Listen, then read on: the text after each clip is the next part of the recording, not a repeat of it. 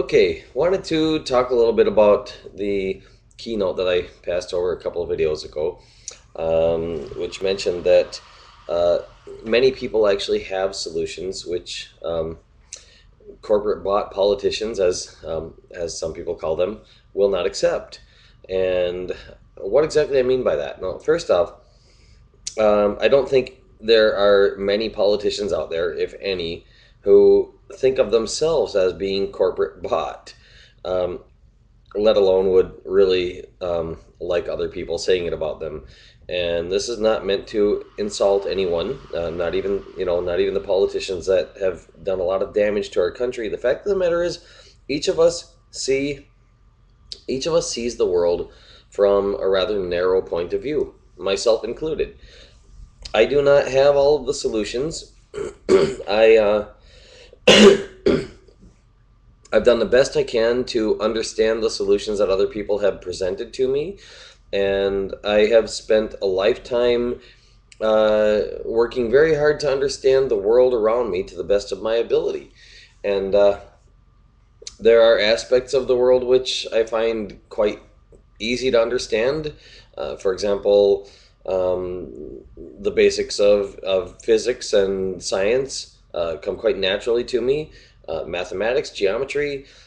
On the other hand, something like politics, there are aspects of it which are very natural to me, and there are aspects of it which take quite a bit of uh, thought.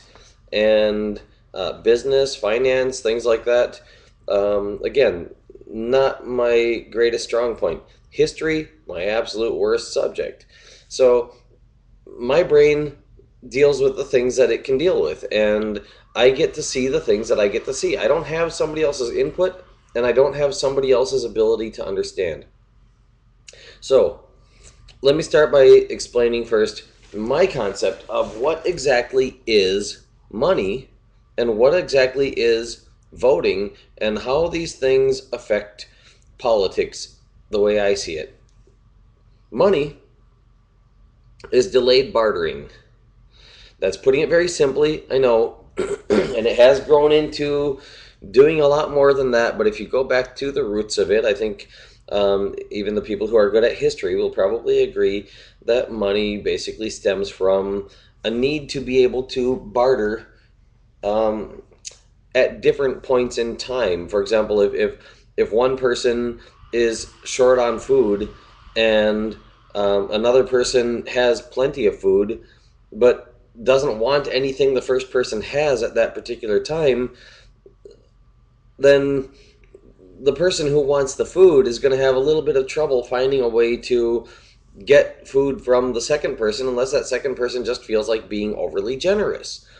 Now, one thing that that can help to help to overcome that problem is the idea of credit. The idea that the person who gives the food to the other person may get something back for it in return later.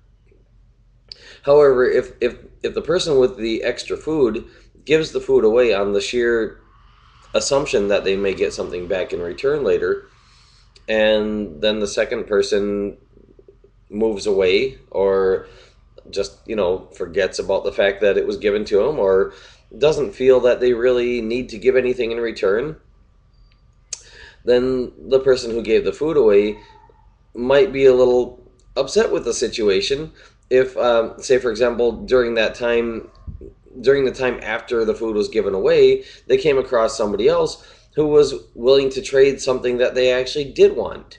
So as it turns out the food was valuable to them even though they didn't need it because they had plenty of food it was valuable because it could have been traded for something else.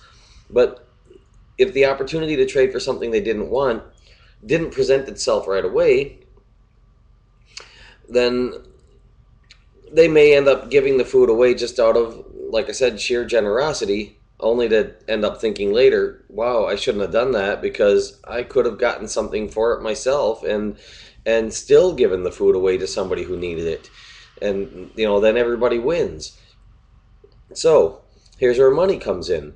Let's say the person who who wants the food has done some work for someone else, and the person they did the work for didn't have anything of value that they wanted to trade in return for the work. So they accepted from that person some sort of monetary currency, something that they could later bring back to that person and say, hey, um, you know, here's this IOU or whatever the case might be. You know, here's this this thing. Remember, uh, you know, I did this work for you, and um, you know now now you've got something I want, and I'd like to make this trade. And uh, of course, then you run into the question of just how much value each thing is that you want to trade for, and and all these things have to be worked out. And this is where money comes in. That um, it's it's a way of somewhat standardizing the value of work, goods, services, whatever the case might be that we may wish to trade one thing for another over the course of time. And uh, and if a person has a lot of money, theoretically, the idea should be that they have a lot of money to represent the fact that they have given a lot, that they have worked a lot, that they have mm, helped society in a big way, that they have done something to earn the right to be able to ask something of someone later and still have something left over to you know be able to ask something more of someone else because they've got lots of this this uh, monetary currency which which you know indicates that the world owes them now when you hear people talking about um, entitlement saying, for example, you know that that a person should be entitled to Social Security benefits. Well, there are different ways of, of looking at that. Now, some people would say, you know, well, they're saying they're entitled to it because they were born and therefore, you know, they've got it coming.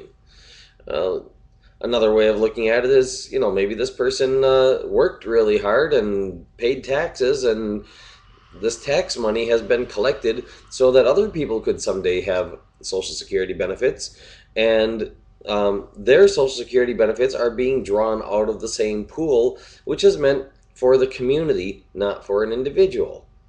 This this gets into a little bit bigger picture because then we're looking at something that it's not it's not an individual who has the money, it's society who has the money. It's the government or some branch of the government who has the money who is allowing this money to be used or spent on behalf of individuals who need something at the time. Now, let's get into voting. What voting is. Voting is a way of being able to represent communication and a way of, of being able to um, keep track of how much each person has to say in a particular communication that involves multiple people or um, theoretically all of society. So if if a society wants to vote on something, I shouldn't have any more or any less say in that thing than anyone else if it affects my life just as much as anyone else. Now we do run into the philosophical issue of what affects whose life more the easy way to resolve that in the case of something like an election is just to say, um, well, who gets elected into office pretty much affects all of us equally.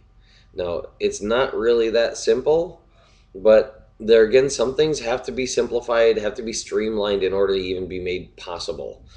And voting is a complicated thing. There are different ways of coming to a consensus, and uh, coming to an agreement within society and saying, okay, you know, I will allow this little bit of something I don't like in return for a little of something I do like, or you know, I will allow the loss of this um, in in return for the gain of something else, or in the hopes of the gain of something else. Uh, money is sometimes invested with the hopes of gaining something in the future, and if a person has more money than they know what to do with, unfortunately, in, in today's society, at least here in the United States, and um, I know it happens in a lot of other countries, um, I wouldn't dare try to list them off. I, am I'm, I'm quite sure I'd be inept at doing that. Um, but but there are people who have gotten to the point as far as money goes that they don't really have a use for as much money as they have, and they're still collecting more. So then they start doing things like saying, well, how can I use my money as a vote? How can I affect the election of people into political offices, into the government, which is there to benefit the people in such a way that the people put into that government will benefit me personally more than other people. That I get more of a say than someone else gets in who gets into office, so that the balance of, um, as as I was saying before, you know, some sometimes people are not equally affected by who is in office. That that that balance could be tipped in the favor of the person who has the money to do something about it. Now, a fair electoral system should limit that as much as possible. And unfortunately, right now, we do not have a fair electoral system. We have an electoral system which was intended to be fair. One person, one vote, that was the idea. But people end up voting for a name they recognize, and they end up voting for someone that they think can win against someone they want to keep out, even though they really don't want either. These are not fairness in, in, in play. What's more, um, when somebody wants to keep somebody out and they have to vote for someone to represent that wish to keep someone out, that person is not being correctly recorded. Consider the fact that the person who wants to put someone into a particular political political office or wants to keep someone in a particular political office is quite capable of voting directly for that person and saying exactly what they wanted to say. I want this person in this office. But the person who looks at a particular politician's record and says, this guy is hurting me badly, or he's hurting people I care about badly, or he's hurting the world I care about badly. And and their biggest wish is to do something to stop that. They don't know who else would be a good person to put in. Well, some people would say, well, if they don't know who'd be a good person to put in, then they shouldn't be allowed to vote at all.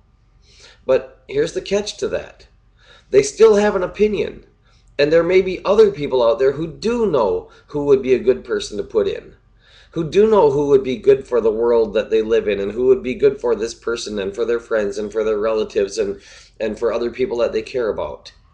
And this person may want to, this other person may want to vote for a particular candidate that that they would vote for that that the person who doesn't know who to vote for would vote for if they knew about this person but they don't happen to know about him and because nobody has spent the money to advertise this this candidate and make them extremely well known they don't have the name recognition and they don't end up getting the votes just because their name is known so why should this person not be allowed to simply say i know who i don't want this is the one I don't want here, and indicate that and, and have it recorded properly.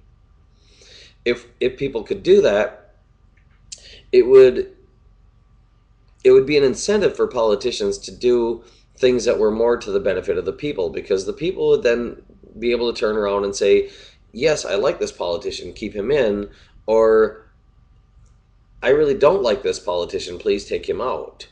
Since since the incumbent is always going to be or almost always going to be the most well known it does make sense that a person should be able to at least vote for or against the incumbent.